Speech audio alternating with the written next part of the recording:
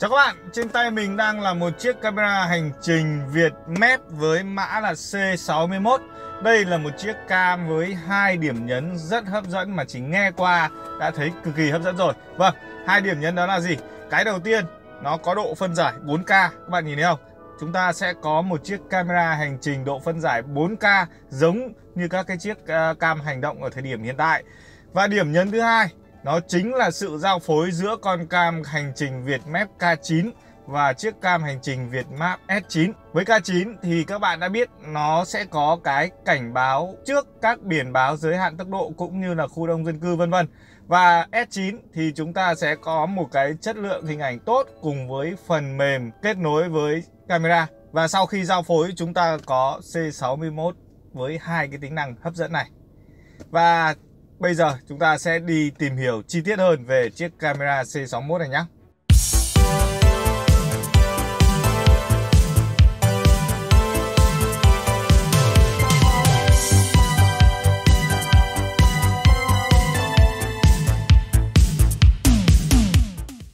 Vâng, tính năng là gì đi chăng nữa thì đầu tiên chúng ta vẫn cứ phải tiến hành mở hộp để xem trong hộp cũng như là thiết kế của nó như thế nào đó nhé.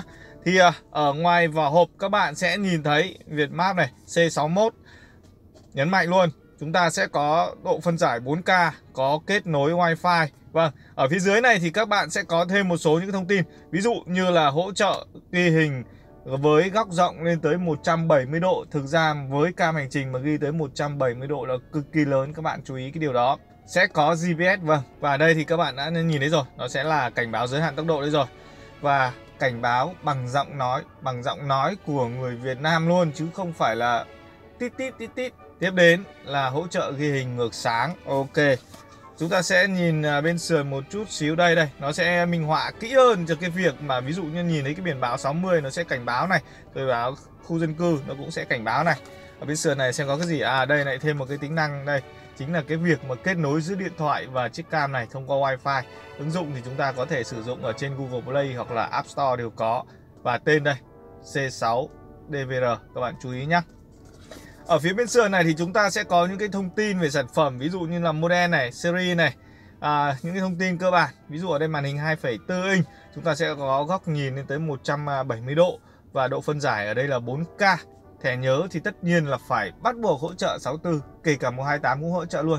Với độ phân giải 4K mà nếu không hỗ trợ lên tới 128 thì cái thời gian ghi nó sẽ rất được ít. Và ở dưới thì các bạn sẽ thấy là GPS có, này cảnh báo giao thông có, kết nối wifi có, ghi âm có, ghi âm vòng lặp đương nhiên phải có. Cái này là đặc thù của cam hành trình và cảm biến va chạm có luôn. Hết thông tin về vỏ hộp chúng ta sẽ tiến hành mở hộp cho các bạn cùng xem.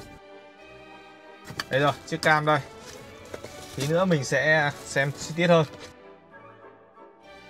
Bên trong chúng ta sẽ có một cái sợi cáp mini USB Tiếp đến chúng ta sẽ có cái dây nguồn. Và cái chân nguồn của chiếc này nó sẽ là Đây các bạn nhìn kỹ này Chân nguồn của nó là mini USB Và tàu này là tàu cắm trực tiếp nhé Chứ không phải là tàu dạng cổng USB Và nó đáp ứng dòng ở đây là 7,5W Vâng, và đây chúng ta sẽ có một cái à, giá kê dạng hít và thiết kế rất là to Và chốt lại bằng cách xoắn. Hy vọng là cái hít này sẽ chắc chắn ở cái nhiệt độ cao, vẫn dùng tốt. Và phụ kiện tiếp theo chúng ta sẽ có sách hướng dẫn sử dụng bằng tiếng Việt. Đương nhiên, hàng Việt mép, hàng Việt Nam thì phải viết bằng ngôn ngữ tiếng Việt. Hướng dẫn ở đây khá chi tiết luôn. Các bạn à, tìm hiểu thì có thể là đọc cái sách hướng dẫn sử dụng này cũng có thể là vừa lắp cam được, Cũng như là sử dụng các cái tính năng của cam. Chú ý nhé nếu như mà mình chưa biết sử dụng cam nên đọc kỹ cái quyển sách này, viết rất chi tiết. Ở một số những cái cam hành trình của Trung Quốc cam hành trình OEM cái sách hướng dẫn của nó chỉ qua loa một vài cái hình ảnh đặc trưng thôi. Còn với của Vietmap, các bạn nhìn này, nó viết chi tiết luôn. Tất cả những cái tính năng trên cam đều được ghi chú ở đây. Và các bạn chỉ cần đọc cái này thì chắc chắn là sẽ biết đầy đủ những cái tính năng của cam C61 hết. Vâng và đây là chiếc camera hành trình Vietmap C61 và mình à, xăm soi qua một chút nhé thì thiết kế thực ra thì uh, thiết kế trông nó cũng không phải là cái gì đặc biệt lắm. Ở phía trước đây thì chúng ta sẽ có một cái ống kính với góc nhìn rộng lên tới à, uh, 170 độ và độ phân giải lên tới 4K các bạn chú ý nha 4K đấy là cái điểm nhấn cùng với kết nối wifi ở trên này. Logo in chữ việt map C61 ở phía trên này thì cái cục U này này thì chắc chắn là cái GPS rồi. Đây đúng không? Nó ghi chữ GPS đây luôn và các bạn sẽ có đường AVI đây đường này là đường AVI nghĩa là có thể tương tác được với cái chiếc cam sau cam lùi. Ờ, cái này nếu như các bạn có cam lùi một cái dạng dây hình ấy thì có thể cắm vào đây này. Đó rất là hay. Ở phía bên sườn này thì à, các bạn sẽ có cổng à, mini USB là cổng nguồn. Ở đây là cái cổng à, HDMI out nghĩa là các bạn có thể đưa hình ảnh từ cam xuống các cái đầu DVD đó rất là hay và tiện dụng. Ở phía dưới thì có cái gì? Ở phía dưới chúng ta sẽ có cái lỗ mic này. Ở đây là hai cái ô thoáng. Và ở đây thì các bạn sẽ có một cái nút reset rất là nhỏ nhỏ xinh xinh. Phía bên sườn này thì ờ, chúng ta sẽ có khe cắm thẻ nhớ. Và ở đây thì ờ, chúng ta sẽ có nút nguồn.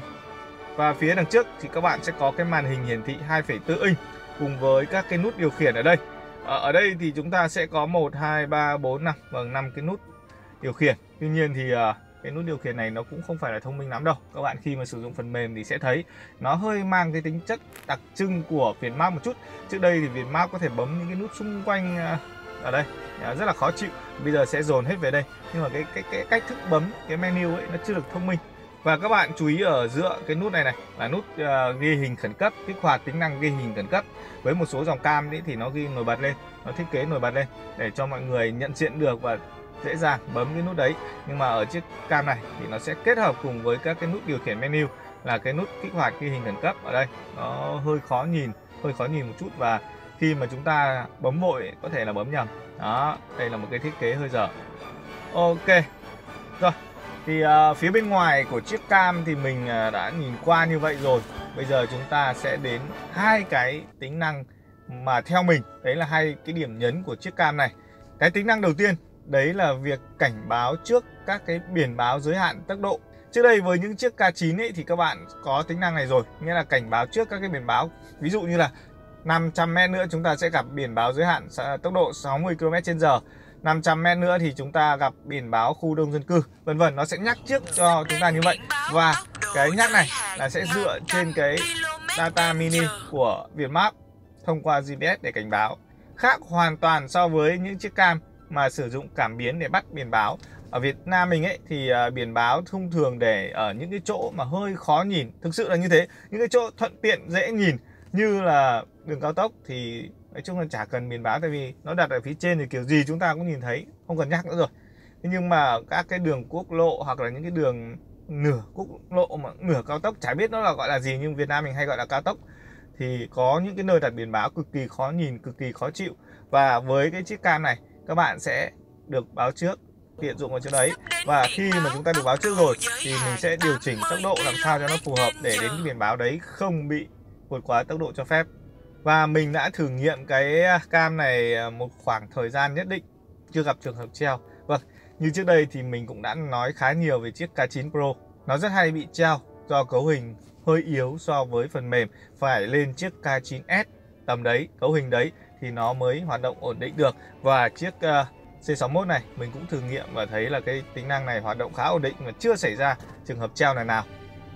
Vâng và tiếp đến chúng ta sẽ đến cái điểm nhấn thứ hai Đấy là cái độ phân giải 4K Vâng và bây giờ mình sẽ thực hiện uh, ghi hình ở các cái điều kiện ánh sáng khác nhau với chiếc ờ, uh, Vietmap C61 Thì uh, đầu tiên mình sẽ là hình ảnh uh, bình thường Nghĩa là chất lượng hình ảnh bình thường Gọi là ánh sáng tốt đấy. Thì uh, như các bạn nhìn thấy chất lượng hình ảnh Nếu như nếu như mà ở chiếc cam bình thường Thì mình đánh giá đây là chất lượng hình ảnh tốt.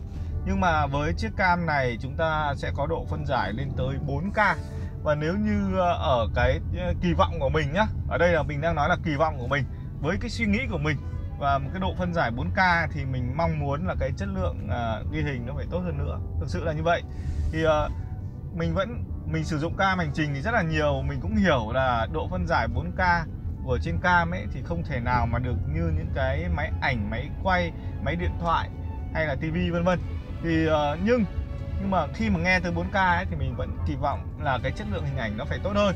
Như các bạn nhìn thấy ở đây thì cái chất lượng hình ảnh cũng khá là tốt thế nhưng mà nếu như mà chúng ta phóng to lên chúng ta xem ở cái màn hình lớn thì cái ờ, vẫn xuất hiện cái tình trạng bệt màu về màu khá là rõ ràng. Nghĩa là chất lượng hình ảnh tuy tốt nhưng mà cũng không phải là xuất sắc ở cái độ phân giải 4K cái mức độ sắc nét nó cũng vừa vừa thôi. Vâng đấy là chúng ta đang nói về cái ờ, chất lượng ghi hình ở điều kiện ánh sáng tốt. Còn ờ, ghi hình ở điều kiện ờ, ngược sáng vâng. Thực ra thì ở đây nó có hỗ trợ cái tính năng HDR để ghi hình ngược sáng. Mình đánh giá ở đây thì cũng được. Mình thấy nó cũng không phải quá xuất sắc. Nghĩa là chúng ta vẫn ghi hình được ngược sáng khá ổn, nhìn rõ các cái tình huống. Mình nghĩ là nếu như có những cái tình huống bất ngờ xảy ra thì với khả năng ghi hình ngược sáng này của chiếc cam sẽ ghi hình được tốt, nhưng mà không phải là xuất sắc. Không phải là xuất sắc.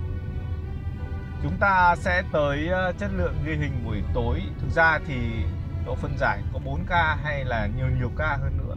Khi gặp buổi tối thì cũng vẫn cứ tắt điện. Thực sự là như vậy vì ghi hình buổi tối lúc này chúng ta cần những cái à, camera có khẩu độ lớn này, rồi à, có khả năng à, trợ sáng tốt này, rồi phần mềm cũng phải tốt nữa để có thể đưa ra được một cái chất lượng hình ảnh xuất sắc. Nhưng mà chiếc cam này thì độ phân giải 4K nhưng chất lượng hình ảnh thì cũng không phải quá xuất sắc. Và theo như mình nhìn ở đây thì chất lượng buổi tối cũng chỉ đạt được mức trung bình. Thực ra thì nói ra thì cũng hơi khó, tại vì là tuy là độ phân giải 4K nhưng mà đây là một cái sản phẩm nó cũng chỉ ở trong cái tầm giá hơn 2 triệu chưa tới 3 triệu. Thì ờ, không thể nào mà kỳ vọng quá được. Và chốt lại thì theo đánh giá của mình, ở cái điểm nhấn độ phân giải 4K chiếc cam C61 này, mình chỉ đánh giá ở mức độ trung bình, không phải là chất lượng ghi hình xuất sắc. Nếu như bạn nào mà xem thông tin về sản phẩm, nhìn thấy 4K mà nghĩ trong đầu cũng giống như mình chẳng hạn thì ờ, phải điều chỉnh lại kỳ vọng một chút nhá. Chất lượng hình ảnh chỉ ở mức độ trung bình thôi. Mình nghĩ là nó cũng chỉ hơn những cái chiếc cam bình thường khác một chút xíu về chất lượng hình ảnh. Độ nét có thể hơn hơn một chút xíu, nhưng mà mình rất khó chịu ở cái vấn đề về bệt màu khi mà đưa hình ảnh phóng lớn. Như vậy thì à, mình đã giới thiệu xong chiếc camera hành trình Việt Map C61 Đây là một cái chiếc cam tổng kết lại. Nói chung là cũng được. Với cái mức giá như vậy thì mình đánh giá là được Mình thích cái tính năng cảnh báo trước các khu đông dân cư cũng như là biển báo giới hạn tốc độ như vậy thì sẽ giúp cho mình lái xe một cách à, thuận lợi hơn, an toàn hơn và tránh các cái tình trạng à, vượt tốc độ quy định khi mà gặp các biển báo. Rồi, và các bạn thấy video hay hữu ích thì à, nhớ like, share và ấn nút đăng ký để xem thêm nhiều video hay nữa. Xin chào và hẹn gặp lại.